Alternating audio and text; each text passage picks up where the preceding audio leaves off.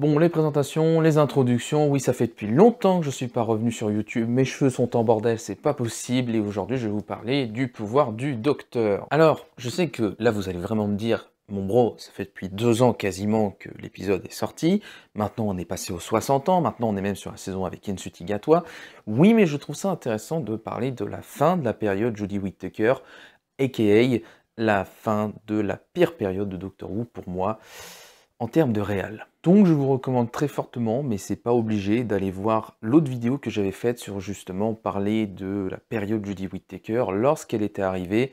Je crois que la vidéo remonte à 2019-2020 à peu près, pour peut-être un peu mieux comprendre mon ressenti sur la fin de cette période. Donc le pouvoir du docteur, comme je l'ai peut-être implicitement dit et que vous l'avez peut-être deviné, c'est le grand final de la période Judy Whittaker, l'épisode, qui est en fait en deux parties, lors duquel le docteur se régénère. Et euh, oui, vous l'avez bien compris, c'est vraiment un seul boîtier, bon là le disque n'y est pas, il est dans mon ordinateur, pour euh, deux parties d'un seul épisode, parce qu'il ne l'avait pas mis dans la saison finale. Mais par contre, vous inquiétez pas qu'ils l'ont vendu comme si c'était une saison entière, hein. ça, aucun problème. Je vous avais pas fait la review de Doctor Who Flux, il me semble. Je vous avais fait que la review de la saison, première saison avec Judy Whittaker qu'on avait. Euh, pour être très rapide sur Flux, c'était littéralement la continuité de la Judy Whittaker era, hein, qui était pas incroyable, on sentait un peu cette phase Disney qui arrivait quand même, hein. on pouvait un peu le prédire, surtout maintenant quand on voit les épisodes du 60e anniversaire, c'était pas incroyable non plus quoi.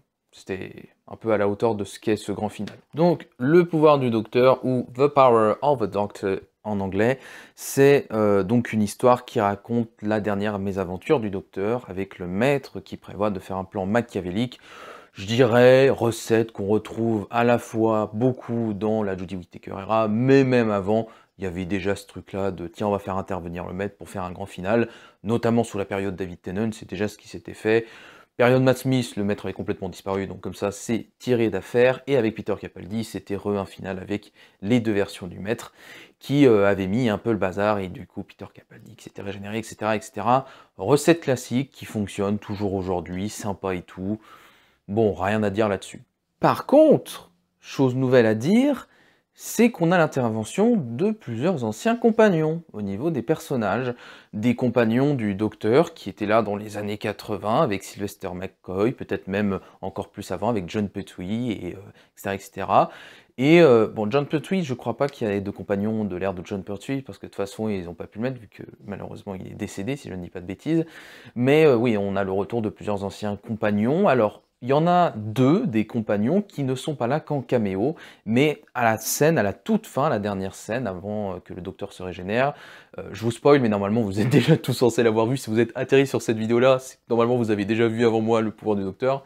Mais euh, avant que le docteur se régénère à la dernière scène, plusieurs compagnons, dont ceux de l'actuel docteur, enfin plus l'actuel, mais du, du docteur de Jodie Whittaker se réunissent pour parler de leurs aventures et on voit par contre plusieurs caméos de je crois trois ou quatre anciens compagnons en plus. Deux seuls compagnons, anciens compagnons qui ont vraiment joué un rôle dans l'épisode, sinon le reste c'est un caméo pour dire euh, ouais regardez la famille réunie et tout. Bon, c'est pas... Ça fait très recette des séries actuelles, quoi. On fait revenir des acteurs euh, qui font des vues, vas-y, pourquoi pas, vas-y, reviens, vas-y, vas-y. Puis on leur donne un bon gros chèque, quoi. Je pense que c'est ça qui s'est passé. On va pas se mentir. Alors pour ce qui est des compagnons avec le docteur, je crois que je n'avais définitivement pas regardé en entier la saison euh, Doctor Who Flux, donc saison 13, qu'ils n'avaient pas nommé 13. Déjà parce que ça m'avait cassé les couilles, parce que la série n'avait pas été traduite en français. Et de deux, j'avais vraiment eu un énorme désintérêt pour les aventures, parce que ça n'avait plus aucun sens. Mais du coup, on se retrouve avec un mec qui ressemble au vieux mec qui était avec le groupe, mais c'est pas le même. Et avec, euh, j'ai que le nom de l'actrice, Mandy Gipp, euh, alias, euh, je sais plus son nom, j'ai envie de crever, Yas, Yasmin Khan, voilà. et du coup, bah, on a elle avec un autre personnage qui est apparu que définitivement, comme j'ai dit, je n'ai pas regardé Doctor Who Flux jusqu'au bout parce que j'imagine que ce personnage doit apparaître dans Doctor Who Flux vers la fin, justement, je pense, quand le groupe se sépare. Mais moi, pas du tout. Je n'ai pas du tout eu cette information-là. Donc, c'est un peu aussi cette expérience-là d'être plongé dans le DVD, dans ce final, sans savoir ce qui s'est passé entre temps parce que j'ai lâché et du coup, voir si je peux me raccrocher à ça et euh, voir si je peux continuer quand même. Peut-être que ça donne un nouveau souffle. Donc pour ce qui est du principal antagoniste, le maître, joué toujours par Sacha Dawan, il ne s'est pas régénéré entre-temps, et d'ailleurs à la fin, spoiler, mais normalement vous l'avez déjà vu, si vous l'avez pas vu c'est un spoiler, Il meurt à la fin, d'ailleurs il n'a pas de régénération, on ne sait pas, c'est encore une mort mystérieuse, mais c'est pas la première fois qu'on nous le fait avec le maître, donc euh, moi j'accepte, hein, c'est normal, c'est classique, alors c'est classique. Je trouve que Sacha Dawan a réussi à bien mieux maîtriser le personnage du maître par rapport à ce qu'il avait pu faire notamment dans la saison 11, la saison 12, ou même Doctor Who Flux, où c'était encore un peu moyen. Là, Sacha Dawan s'est vraiment imprégné, du personnage et a vraiment réussi à en fait euh, faire un maître qui fait à la fois vraiment peur, qui est un peu euh, foufou et euh, qui fait rire en même temps. Et euh, je pense que c'est le meilleur jeu de maître qui ait été fait peut-être même jusque-là.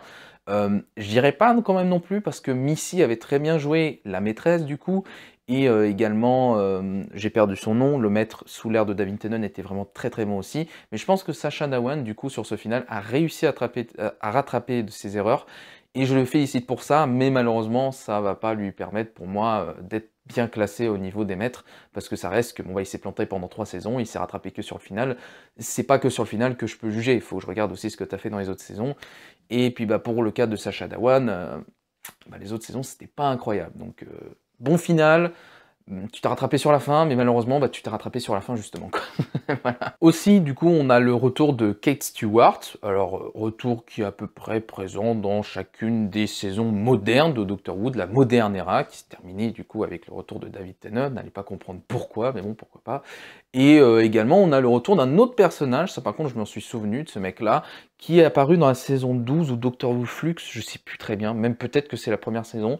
Euh, un pilote dans un vaisseau nomade, euh, voilà, je crois qu'il avait perdu son frère ou un truc dans genre. Ouais, alors je confonds avec euh, une, euh, une aventure avec Matt Smith, il me semble, mais voilà, on a un peu le retour de quelques personnages par par là, et c'est justement ça, c'est le premier point de malus que j'aimerais mettre à la série, c'est que ça fait très, c'est dans l'urgence. C'est pas genre dans l'urgence parce que le plot exige que ce soit dans l'urgence, parce que le docteur est menacé, parce que l'humanité est menacée, c'est que c'est dans l'urgence parce qu'il fallait terminer très très vite on sentait qu'on arrivait sur une, sur une fin de race presque, j'ai envie de dire. Vraiment, c'est que on arrivait à un temps tellement critique qu'ils ont dû se dépêcher presque à faire le plot, à faire l'épisode, etc., etc., au point qu'ils n'ont pas bossé et peaufiné l'apparition des personnages.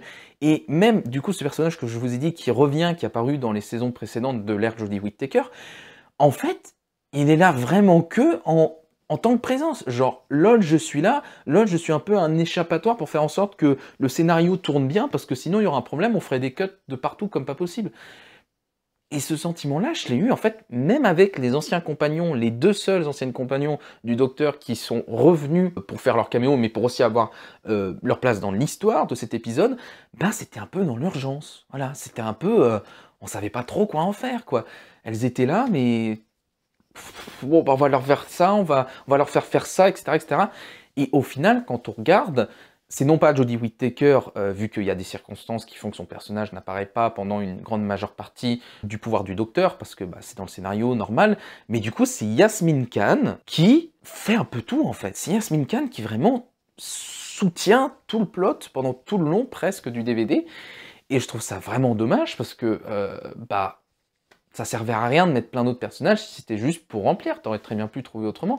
S'il y avait eu justement un peu plus de temps de travail, je pense, sur le scénario. Je suis pas expert en, écriture scénario, mais par contre, je suis expert en une chose, c'est que j'ai vu les autres saisons précédentes, et encore une fois, moi, je vais pas comparer euh, aux premières saisons avec Judy Whittaker, qui était à la ramasse. Forcément, si vous comparez, c'est toujours mieux, parce que bah, ils ont su se rattraper justement sur la fin, comme euh, Sacha Nawan a su se rattraper sur la fin euh, en faisant son interprétation du maître.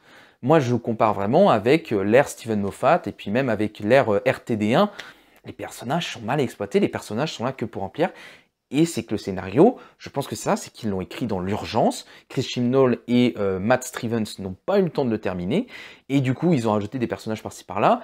Et ça se trouve, même peut-être que, alors là, ce sont que des suppositions de ma part, peut-être même que dans le pouvoir du docteur, nous n'aurions jamais dû retrouver les deux compagnons du docteur, les deux anciennes compagnons du docteur qui ont joué un rôle dans l'épisode, mais juste les retrouver à la fin avec les autres compagnons quand ils font leur réunion euh, où ils parlent entre eux euh, des différentes euh, mésaventures et aventures que et elle ont eues avec le docteur. Mais c'est vrai que ce final fait vachement bizarre. On a l'impression que à la fois tout a été prévu, il y avait les grandes lignes, on arrive à suivre les grandes lignes, ça, ça par contre aucun problème. Au-delà de ça, bah vraiment c'est bon, t'as la ligne rouge, puis t'as plein de conglomérats autour de choses que je sais pas trop pourquoi ces choses-là sont, là, mais elles sont là, voilà.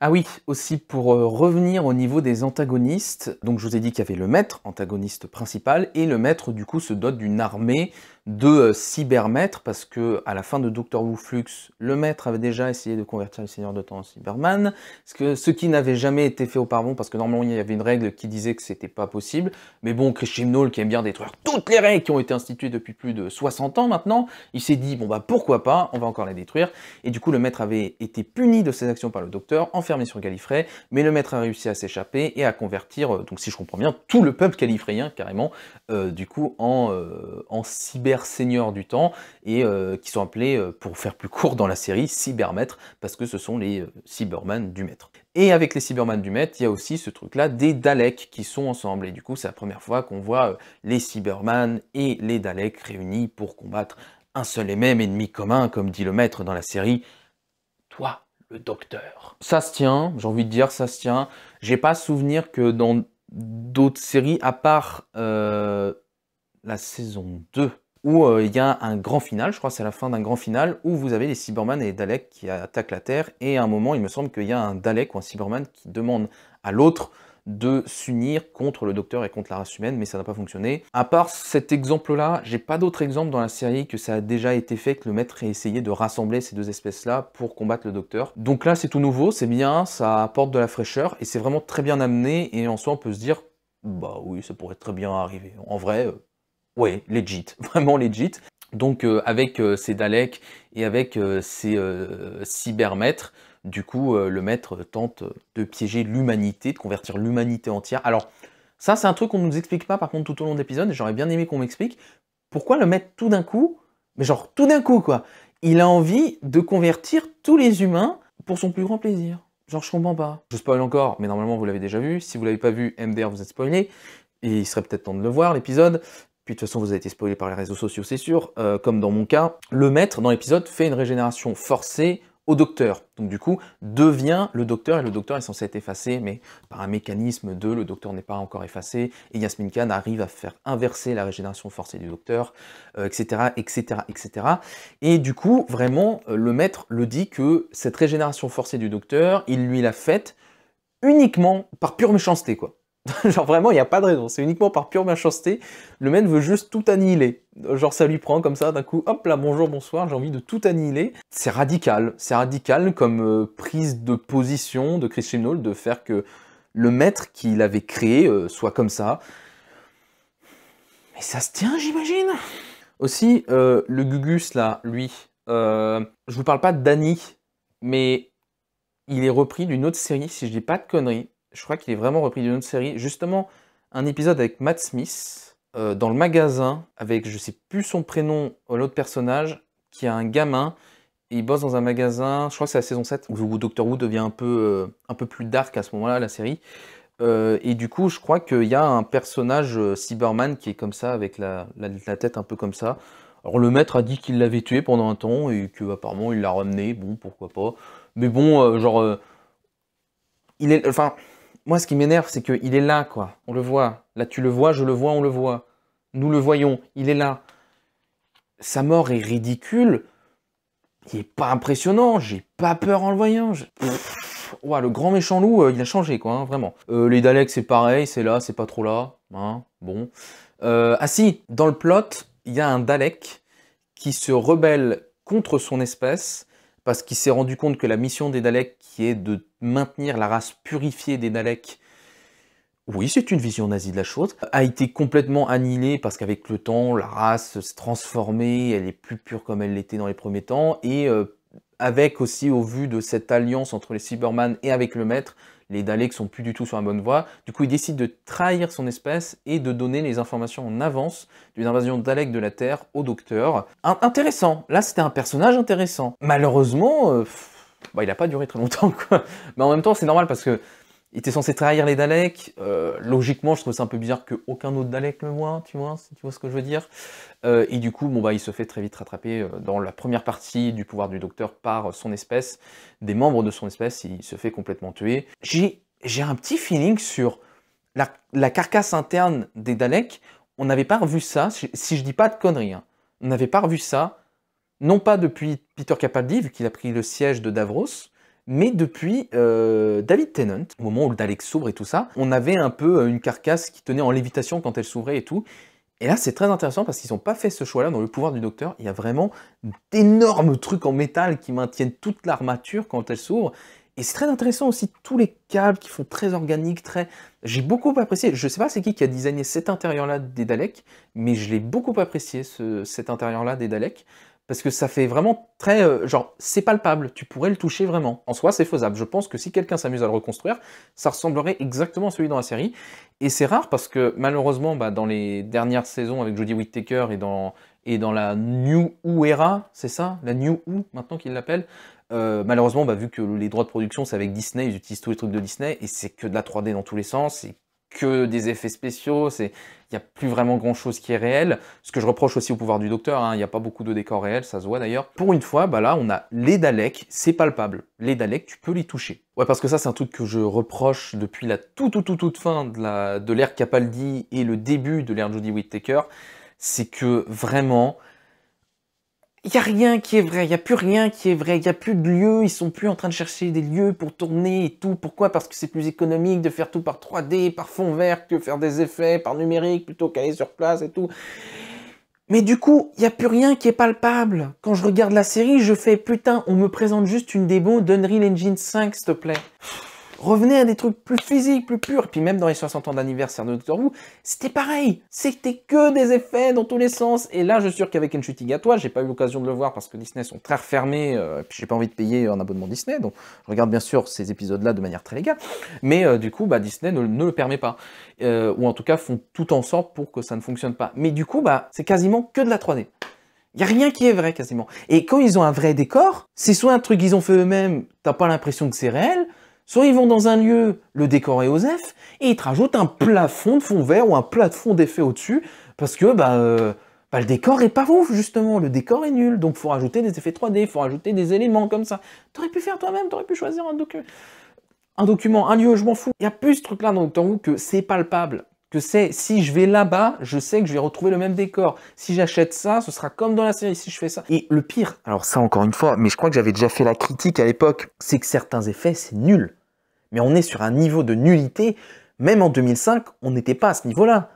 C'est-à-dire que les premiers épisodes étaient en 4 tiers. En 4 tiers Il y a des moments où tu as plein de lumière partout, vive, tu as plein d'effets électriques et tout. Et vu que ça aurait trop détérioré l'image, j'imagine, ou vu que ça aurait trop éclaté les yeux aux gens, ils ont décidé de faire quoi? Que ces lumières vives, ils n'allaient pas les réduire littéralement, pour faire en sorte que ça pète moins les yeux mais ils ont décidé d'appliquer un filtre de contre-contraste sur l'effet déjà appliqué qui fait que c'est plat. C'est plat. T'as l'impression qu'ils ont oublié de te mettre le rec 709 euh, et euh, de faire l'étalonnage. Je me dis, ça c'est des effets de niveau Torchwood à l'époque. Qui, où, ils injectaient moins d'argent que dans Doctor Who. Et même, je pense que Torchwood, ils avaient de meilleurs effets que Doctor Who. Sincèrement.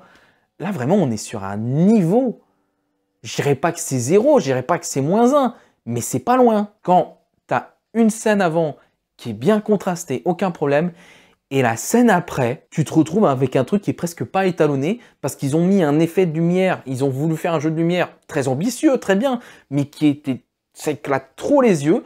Donc ils ont appliqué un contraste après avoir mis l'effet, parce que ça tu vas pas me faire croire que ça a été fait sur place, certainement pas, qui fait que bah, l'effet est plat. Et on s'emmerde, genre vraiment on s'emmerde. Il y a ce truc là aussi de va falloir arrêter de foutre de la 3D dans tous les sens, va falloir arrêter de foutre du fond vert dans tous les sens, va falloir arrêter de mettre plein d'effets numériques dans tous les sens. Parce que en tout est bonne chose, et on en a la preuve depuis une, deux, trois, quatre, huit, depuis cinq saisons et euh, quatre épisodes spéciaux, que ça ne fonctionne pas qu'ils ont oublié comment faire de beaux effets par ordinateur. Va falloir revenir peut-être à un truc beaucoup plus modeste, des envies moins, moins grandes, ce qui va peut-être euh, faire que les épisodes seront un peu moins bien accueillis, mais va peut-être falloir revenir en arrière et réapprendre. Hein. Je veux dire, genre littéralement, va peut-être falloir réapprendre à faire quelque chose de bien. Parce que ça sert à rien de me balancer devant les yeux plein d'effets si c'est pour qu'au final je me dise, bah c'est de la merde. Le doublage en français aussi. Un doublage qui est vraiment très très bon. On sent que l'actrice qui joue le docteur, euh, la voix française qui joue le, docteur, a réussi à vraiment bien euh, assimiler ce qu'était le docteur et a peut-être même appris de l'univers de Doctor Who. Et regardez les saisons de la moderne era, tous les acteurs ont réussi à comprendre ce qu'était l'univers Doctor Who et que c'est pas que du Marvel actuel, oh, prout caca, on met plein de blagues dans tous les sens parce que le héros il doit aussi être cool. Euh, ah oui, non, mais même les trucs tristes, il faut rigoler dessus parce que le triste ça fait pas attirer les gens. Euh, non, on veut pas. Non, là ils ont vraiment bien compris qu'on n'est pas dans cette optique-là, que les vrais fans qui sont là depuis peut-être le docteur, euh, le début de la moderne era et même avant de la classique era, c'est pas ça qu'ils veulent.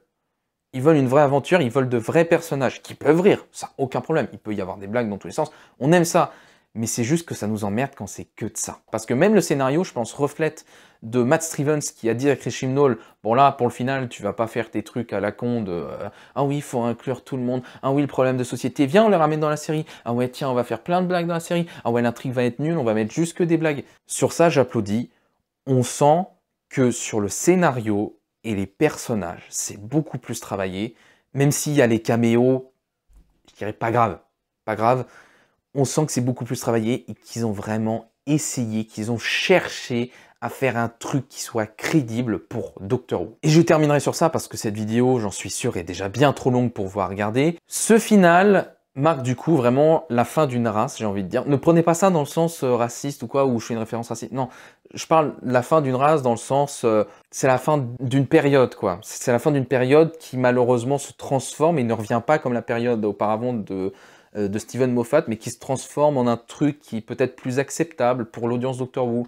Mais du coup, justement, avec ces trucs-là qu'on a eu avec Jodie Whittaker, ça a ramené une nouvelle audience qui si on revient sur, euh, sur la patte de l'ancienne audience. La nouvelle audience ne va pas vouloir, ne va pas aimer et du coup va partir. Doctor Who est bloqué, pour rester dans le thème, dans un paradoxe temporel et surtout social qui est euh, il faut garder cette nouvelle audience que Doctor Who a réussi à acquérir et je suis content pour la série mais à la fois, il faut aussi essayer de garder l'ancienne audience parce que bah, bah ça fait chier quoi. Quand t'as ton pote qui te suit depuis 11 ans, euh, qui est là, t'essaies quand même de garder et que t'arrives pas, mais euh, t'as aussi les potes que tu t'es fait entre temps, que tu veux aussi garder, puis tu vas lier les deux, mais tu sais très bien que ça ne fonctionnera jamais. Je pense que Doctor Who est dans cette phase là de j'essaye de garder mes deux potes, mais j'ai un peu de mal.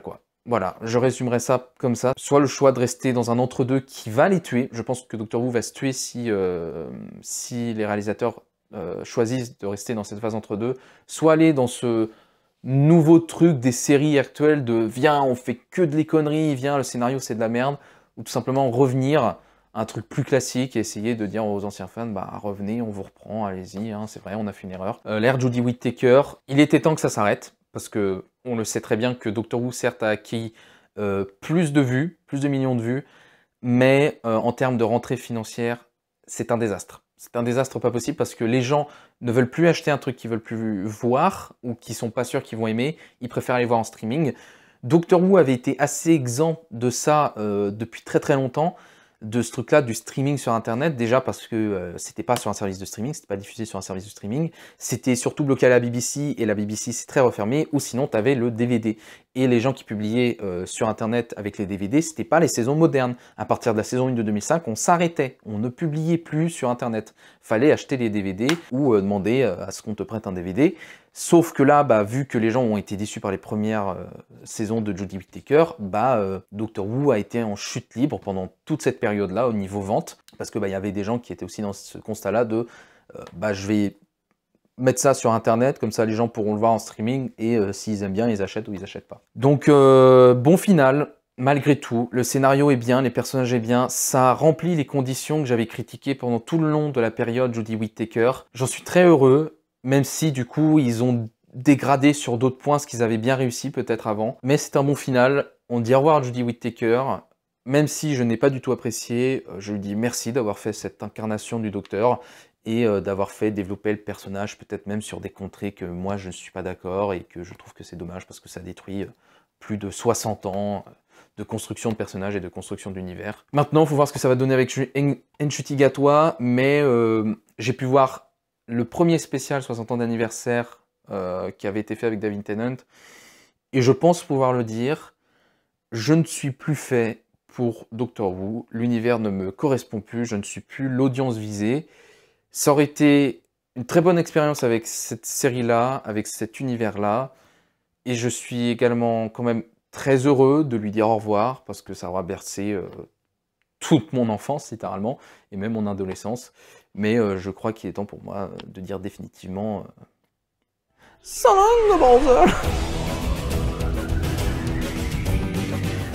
Alors, cette partie-là, normalement, devrait arriver du coup, après la vidéo. C'est juste pour vous annoncer que la chaîne est en grand danger. Voilà, je vais vous faire aussi une, une mat ce Game Theorist qui s'est barré. Non, dans le sens où euh, je me reconnais de moins en moins sur euh, Internet. J'arrive plus à vraiment me mettre euh, dans ce que YouTube demande. Donc il y aura peut-être de temps en temps deux trois trucs qui vont apparaître, notamment là normalement prochainement vous aurez une vidéo Solex peut-être même qui est déjà sortie. je suis beaucoup plus actif par contre sur mon Insta, donc si vous voulez toujours voir de mes nouvelles ou voir du, contenu que je mets en ligne, ce sera vraiment maintenant sur Instagram. YouTube, je dis pas que je quitte, mais YouTube ça va être beaucoup plus occasionnel. Euh, donc abonnez-vous si vous voulez, laissez un like si vous voulez, euh, soutenez-moi si vous voulez, de quelconque sorte que ce soit, avec le référencement ou quoi. Mais je ne vous garantis rien. Voilà. Au revoir.